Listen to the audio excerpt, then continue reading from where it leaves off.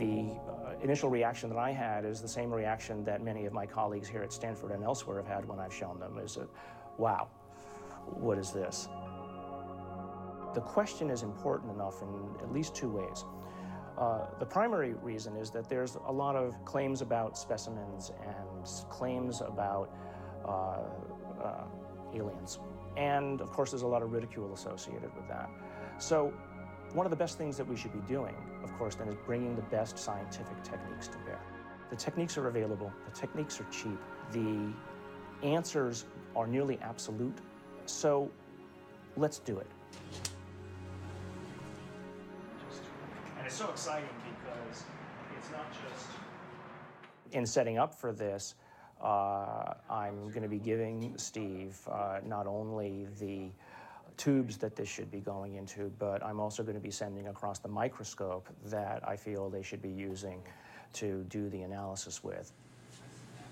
Before we even get started with some of the analysis, I think it's going to be important to rule out some of the obvious critiques that could come up and one of those critiques is that this is a syndrome or a mutation. This is a bone dysplasia.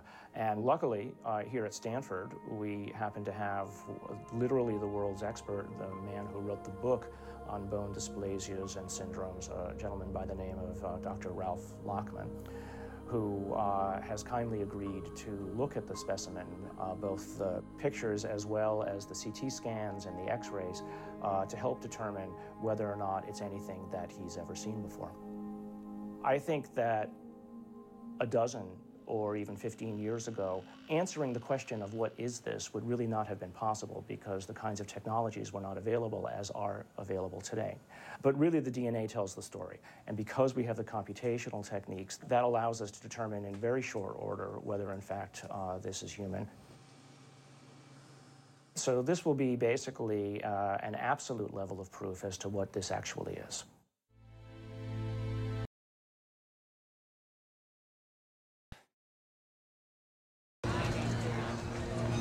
Right, well, if somebody made it, they have a future in microsurgery uh, because they were smart enough then to put in these millimeter wide bone uh, holes where the uh, arteries go in to uh, feed the bone marrow.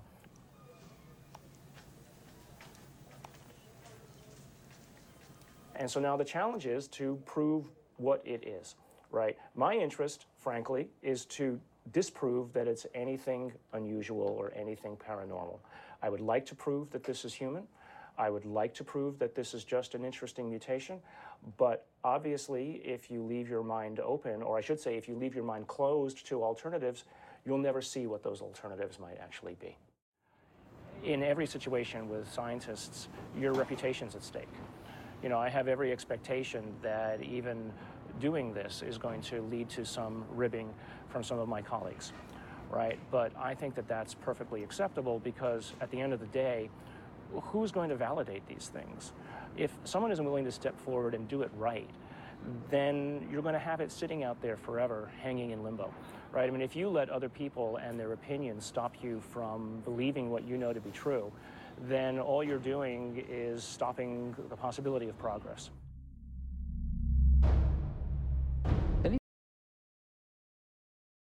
that of a human. One of the first things that Dr. Lachman uh, immediately remarked upon was the shape of the head and the skull. Uh, it was not something that he uh, is accustomed to seeing, and it was quite interesting uh, and in some ways exciting that the associated features that you would expect from a syndrome of that nature were not found.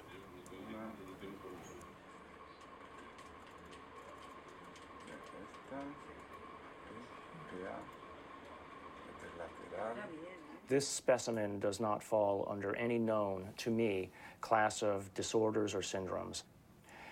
In many respects, the proportions of the spine and extremities are normal. The major abnormalities appear to be one, the size of the specimen, mid face hypoplasia and underdevelopment of the jaw, and that the specimen has only 10 ribs. Humans normally have 12, rarely 11. One of the most remarkable aspects of this is when we came down to study the actual bone density One of the features of uh, fetuses that a specialist looks at is the so-called growth plates of the epiphyseal uh, joint, say, of the knees. The, the shock, I think, uh, and the surprise was, and the, and the absolute certainty that uh, Dr. Lachman had was that this specimen is between the age of uh, six to eight years old. The shock was uh, that this specimen was clearly not fetal. How do you explain how something six inches tall survived to any length of time uh, that would uh, allow for it to survive 100 or 1,000 years ago?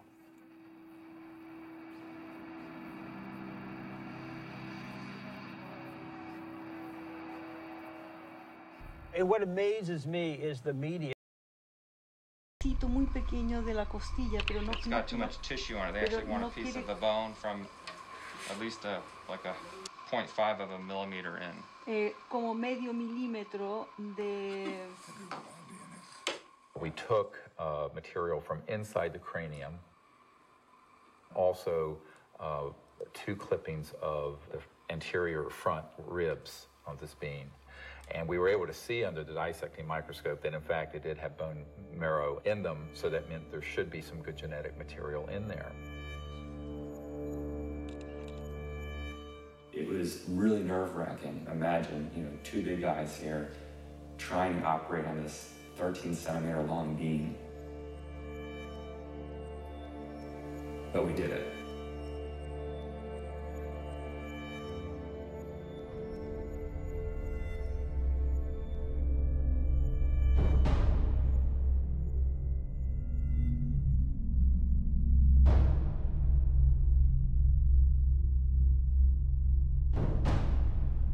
The DNA analysis uh, is being done by some of the world's best, but even the world's best need to be cross checked, which is why I'm doing the three different facilities.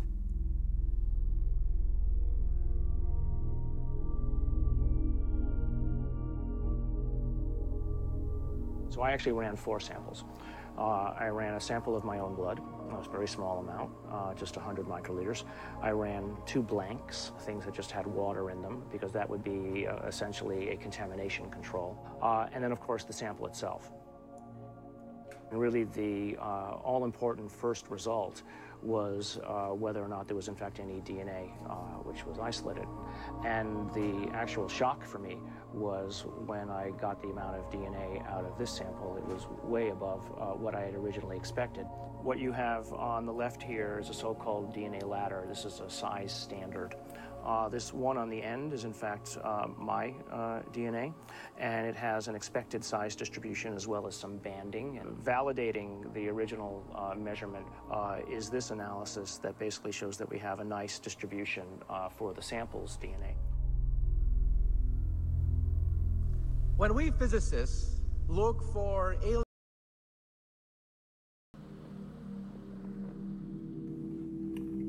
So this is an example of how the analysis is done um, using what's called a genome browser. And it's uh, more or less a schematic representation of the chromosomes and at a very uh, high level of uh, resolution. So the sequence that we got from the mitochondria tells us with extremely high confidence that the mother was an indigenous Indian uh, from the Chilean area, and the haplotype is called B2A. Now, the other thing that immediately fell out of the analysis is that it's male. It has uh, so called Y chromosome material. In fact, it's got a full Y chromosome. It probably died in the last century, if I were to make a guess.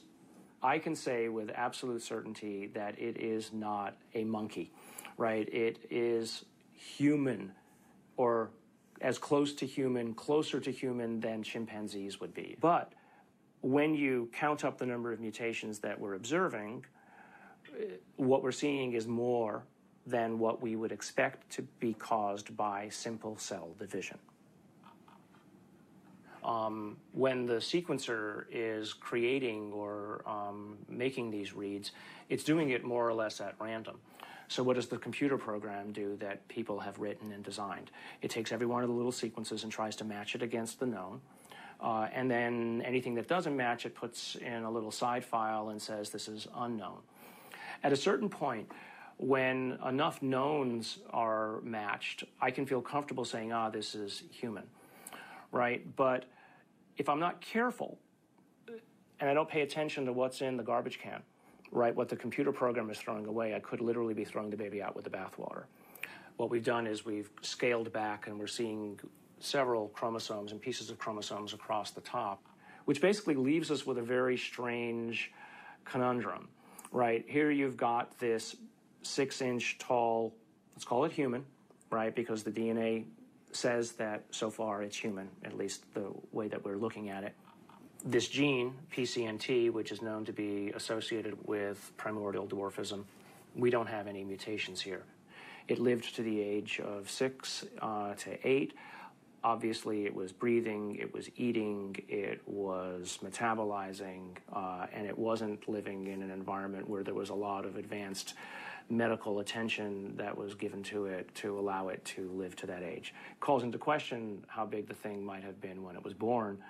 So, genetically, uh, you might explain that by saying that there's some advanced aging uh, mutation, something that caused the bone to age anomalously quickly, a uh, gene uh, that's known to be associated with progeria.